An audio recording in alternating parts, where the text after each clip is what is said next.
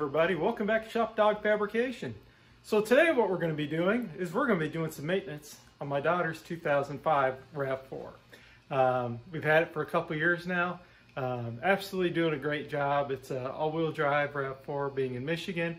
Um, she's actually going to be going to Tennessee, to the University of Tennessee um, to study uh, for college, and so we'll be moving her into her apartment uh, next weekend. So we're going to do uh, some maintenance on it, make sure everything's good. So when she goes down there, she's going to be pretty trouble-free. Uh, so we're going to do an oil change. We're going to change the air filter. We're going to clean the cabin filter, and we're going to check the brakes. Um, now I have brake pads if I need them, and I'll kind of show you uh, a rule of thumb to replace them, or, or if I do need to replace them, I'll show you how I'm going to do it. And then uh, what to look out for if your rotors are maybe a little too grooved, you either need to replace them um, or have them resurfaced, or if you know they're good to go and you can just go ahead and swap out brake pads. So with that said, let's jump into it and we'll start with a couple of basic things. Uh, we'll just do the cabin filter real quick, the air filter real quick, and uh, we'll top off the uh, your fluid real fast, and then we'll go ahead and do the oil change, and then we'll do the brake inspection or slash replacement last. So we're in the in, in the vehicle and I've cleaned out the glove box because if you don't, when this thing opens up, it's going to dump everything out on the floor. Basically, all you need to do is push in the sides like so. And you can see the glove box will pop right down. And then from there, then from there, we need to get into the cabin air filter which is this guy right here. Just pop those tabs loose, pull it out, and you can see this one is pretty darn dirty. There's a lot of crap in here. So I'm gonna go ahead and uh, take my air compressor um, or shop vac and clean this out real all right, you can see that the air filter is a whole lot better than what it was. Actually, it's in pretty darn good shape. So we're gonna go ahead now that I've shop backed it and reassemble this. So again, it is simply taking it. Push it back in like so. Just clip your, just squeeze in on the sides again, and you're all set. Now I got to put all my daughter's junk back in her vehicle. All right, so the next thing we're going to do is we're going to place the air filter. So to replace the air filter, there's two snaps over here, top and a bottom one pop that off. And then here's your air filter. So this one isn't horrible, but being that uh, she's going to be off to school, I'm going to go ahead and replace it with a new one. So let me go ahead and grab the new one, and then we'll just reverse the order of putting this back together. So you can see the new one compared to the old one, um, you know, being the top one being the new one uh, is a whole lot cleaner than the bottom one. So it will, you know, make sure that the engine runs best and, you know, gets the best fuel economy that you can get. So with that said, let me pop this back in here like so. See if we can do this one-handed. Set that in place. Now you can see here, these are kind of tabs. You know, so these basically take this. I'll see if I can do it one-handed slip in like so. You just slip it in like so. Then come back over here and attach your clips again. Top clip and then the same with your bottom clip. And that's how easy it is to service your air filter. So now what we'll do is we will double check our washer fluid. So here's our washer fluid and see if she's been using it a lot. So basically what you're looking for is, she's been using it quite a bit, so she's almost out. Yep, there you can finally see the wet mark in here. Um, so right there, and you can see all that that's dry, so it's pretty much empty. So I'm gonna go ahead and get some washer fluid and I'll top this off. All right, so now we're under the vehicle. And on the passenger side of the vehicle, um, here's your exhaust tube. Right here is your drain plug. This is a 14 millimeter um, socket or wrench that you need to use to loosen the drain plug. Make sure you have a drain pan handy to catch the oil. Normally what I'll do is I'll just loosen it first just a little bit, um, pull the drain pan underneath and then, you know, finish loosening it so the oil all catches into the drain pan. I would highly recommend you do this one cold because if you just drove the vehicle, the oil will be very hot. Um, you know, and I don't want you to burn your hands. So make sure your vehicle is uh, cold or, you know, just uh, uh, maybe lukewarm. But um, like I said, loosen this first, then slide your drain pan under and then finish loosening this by hand underneath, drain all the oil out, and then we'll put the drain plug back in before we change out the oil filter. And there you can see, you know, the oil draining out into the drip or into the uh, drain pan. So here's your oil filter. It is on the passenger side on the front of the engine. Um, so it's very easy to access. Uh, so basically what I do is I, what I use is a setup like this to get to it. Um, basically the oil filter will fit right in there and I can loosen it up real easy and get it out. So, with that said, I'll try to do this one-handed.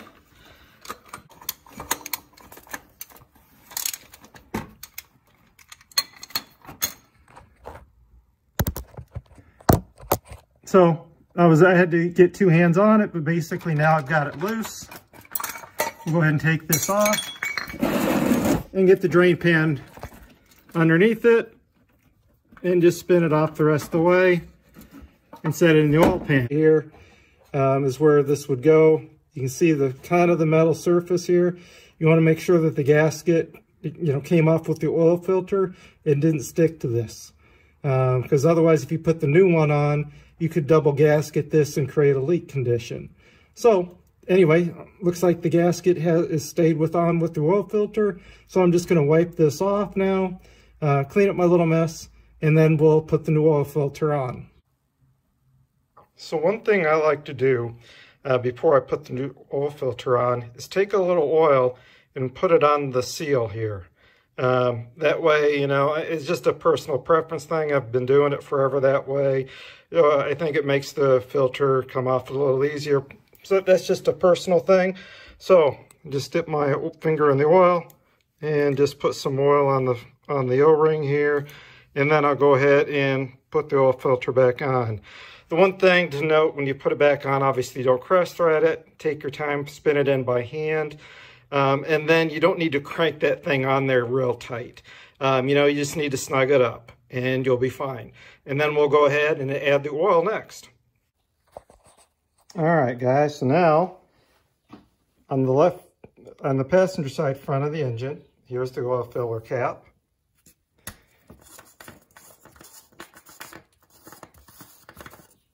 You see it recommends using a 5W30 oil. So the oil that we are going to use on my daughter's vehicle is a platinum high mileage synthetic uh, oil, a 5W30. It's got about 130,000 miles or so on it. Um, still runs great. So we've been using uh, synthetic motor oil for many years and always had good success. So we're going to go ahead and pour four quarts of oil in this. Now this is a five quart container and here you can see the spec of the spine, um, you know, basically how many quarts there are. So here's the one, the two, the three, the four, and basically it stops at four and a half, and you know, you can see the level up here is five. So we're gonna basically dump in all the oil till there's one quart left, and then we'll start the vehicle up to make sure there's no engine oil leaks underneath the vehicle that I didn't, uh, you know, see the either the plug or the oil filter all the way. So it's just as something I always do, just to make sure it's a quick safety check, just to make sure you don't have any oil leaks. So, now, all right, guys, now we've got the oil filled up with the four quarts. Let's talk about your waste oil for just a moment. Um, don't dump this down the drain. Don't dump this in your backyard.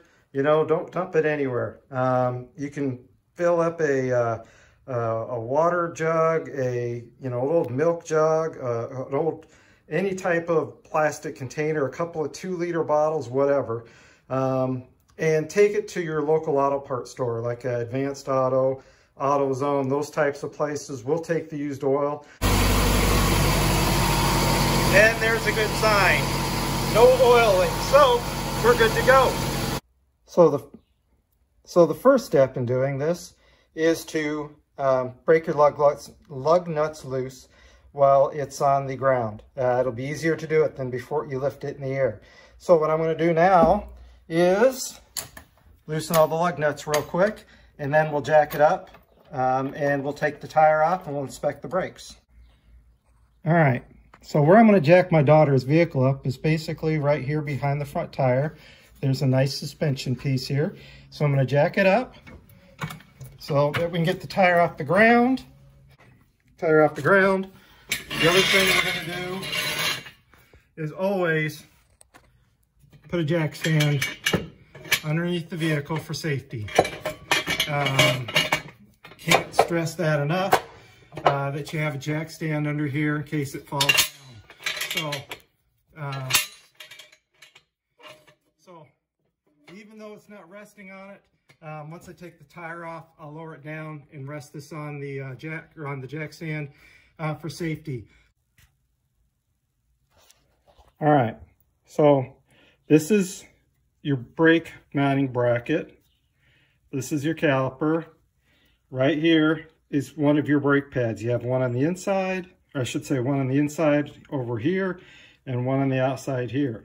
So what I'm going to do is this is a 14 millimeter bolt. You have two of them, one top and one down here on the bottom. I'm going to go ahead and remove these two, take the caliper off so I can show you this a little better and show you the brake pads um, you know, and give you an idea when they should be replaced. Hers actually look pretty good. Uh, I think we can go for a little while longer before I need to replace them. You can see the rotor surface is nice and smooth. I will show you a bad rotor here in just a moment. Um, so let me go ahead and take this apart and I'll give you a guideline on brake pads. All right, so the one thing we want to make sure of is that our caliper pins slide nice and free. Um, you know, so basically this bottom one actually has like a, you can see that big rubber piece on the bottom.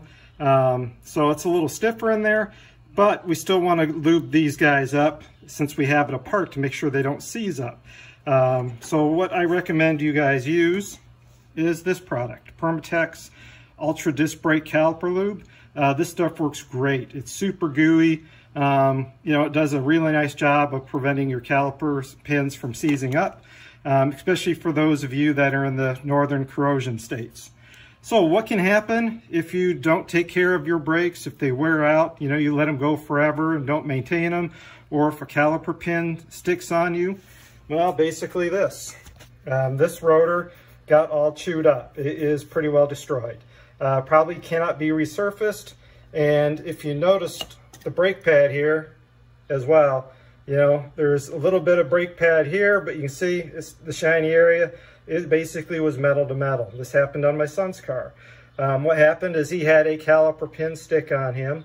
Um, you know, the, all the brake pads were great on all the other corners, but just this one caliper pin stuck and caused the brake pad to wear metal to metal and he was hearing, you know, squeaky noises.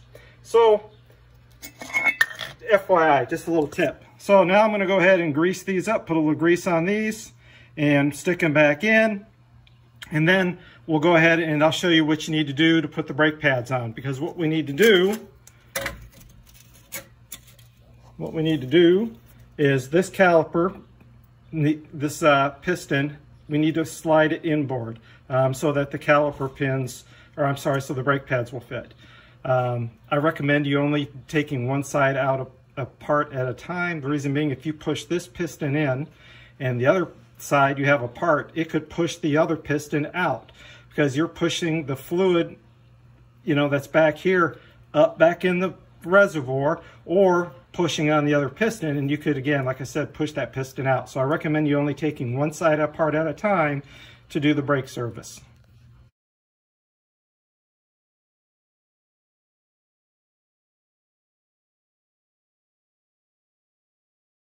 So now what we need to do is push this piston back a little bit like I had mentioned.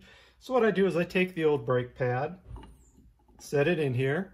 I have a C-clamp. Set the C-clamp in here like so. And then we slowly compress the piston back. Um, just take your time, ease it back. and the piston will, if it's not seized, just go right back into the bore with no problem. And that's why I say don't have both sides apart at the same time because as you're pushing this piston back, you're pushing the fluid back and it could push the piston out on the other side and then you you know created a mess for yourself. Because then you either got to try and get it all back together or you have to buy a new caliper. Plus then you also have to bleed the brakes and everything. So now you can see I bottomed it out. Calipers all you know the pistons all back in. And now what I'll do is I'll set the brake pads in place and then we'll slip the caliper back over all right, so now I've got the new brake pads in place and you can see they basically just slip into these little clips here. Um, you know, really easy to do. Now you can take your caliper, slide it back on. You may need to adjust your caliper pins just a little bit. push them in a little bit more. There we go. And then you can take your fasteners here, tighten them back up, and you're all done. So all I need to do, like I said, is now put these two fasteners in, and this breaks this side of the um, front brake is completed. So with that said, I'm just gonna go ahead and tighten these two up real quick. I'm gonna go the other side, do the exact same thing. I'm not gonna film it, and then we'll go to the back. Uh, it has disc brake in the back as well. Um, some of you may have drums, but for those that have disc, we'll go ahead and, and I'm going to do the other side and then we'll go to the back, like I said, and uh, we'll check out to see what kind of condition in the rears are in. So guys, I wanted to show you these brake pads. These are ones that came off the front. The, these here are the left side or the driver's side. These here are the right side or the passenger side. If you notice, the passenger side ones are actually thinner than the driver's side ones. The reason being is when I went to go and look at the passenger side, the lower caliper pin was actually sticking. Uh, whoever did the pre brakes previously before we purchased the vehicle um, did not seat the, um, uh, the rubber boot uh, properly and it allowed water and debris and stuff to get up inside of the caliper pin and it was almost uh, fully stuck. So I was able to work it loose and lube it up and grease it up and then reseat that boot. Um, so hopefully we'll keep all the debris out and then we'll have even wear left to right.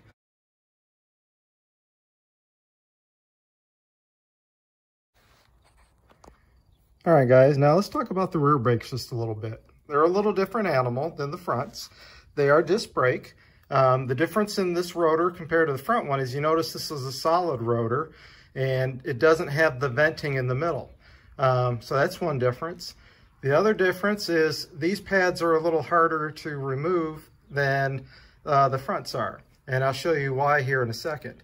Um, there are two bolts you basically need to remove. There's one right here, and then this one down here. You can see, you know, these little rubber boots here um, is where you want to loosen those up. So I've already removed the uh, bolts or loosened them. And if you notice, here's your little baby cat, your little baby brake pads. Um, and you notice that little wear bar indicator too. Uh, so you'll see this has uh, got a smaller piston than the front. Um, but that little wear bar, you know, was nowhere as near um, clicking. So these brake pads in the back are fine. Um, the reason the rear brakes last longer than the front brakes is the front brakes, uh, if I remember right, is like 60-40 split or 65-35 split. By that I mean the front brakes take more of the load than the rear brakes. So your rear brakes will typically last a lot longer than your front brakes. So these rear brakes are in very good condition. I'm gonna go ahead and bolt this caliper back up.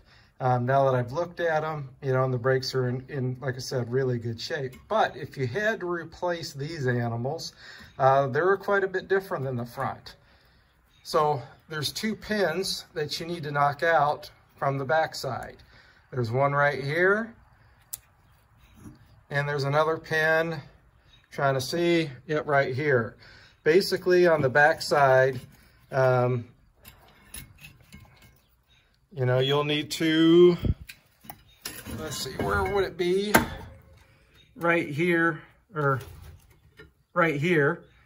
Um, you know, basically you need to knock the pin out and push it through. And the reason being you need to do that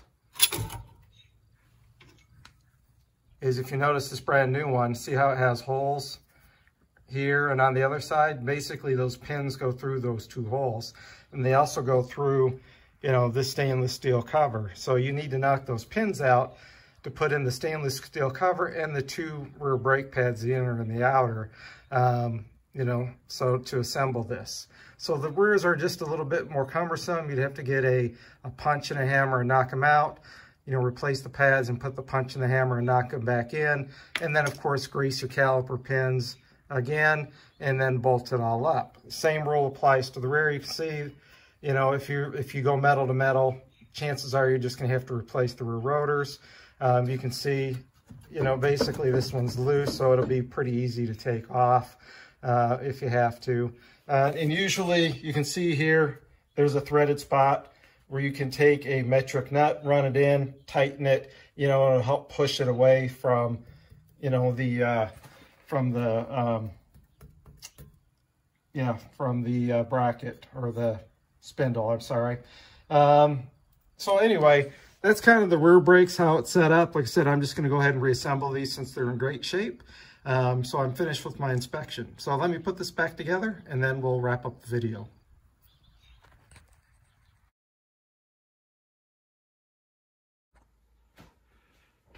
All right, everybody. I hope uh, this video uh, helps you out. Um, you know, learn some of the basics about doing some simple maintenance. Like I said, maybe this is a vehicle you picked up as a second vehicle, uh, something for your teenage uh, son or daughter, um, you know, whatever. Uh, you know, you can see the maintenance was pretty easy to do. Uh, if you don't feel comfortable with any of it, obviously uh, reach out to a local service uh, technician and have him perform the repairs, or at least now you have a better idea of what the repairs entail um, if you need to have something done and they provide you with some sort of a quote. So uh, with that said, I hope you guys enjoyed the video. Uh, thank you for taking the time to watch. I hope you guys subscribe, you know, for future content. Um, hit the little bell, as they say, you know, so stuff pops up. But uh, I, I really appreciate you guys taking the time to watch the video, and I hope you guys have a good day. Thanks for watching. Take care.